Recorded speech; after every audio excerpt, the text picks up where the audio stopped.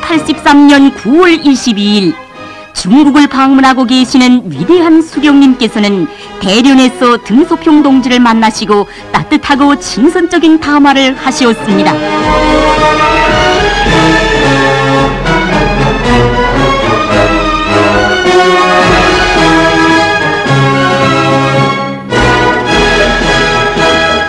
수경님께서는 등소평 동지와 또다시 만나시고 친선적인 분위기 속에서 뜻깊은 회담을 하시었습니다.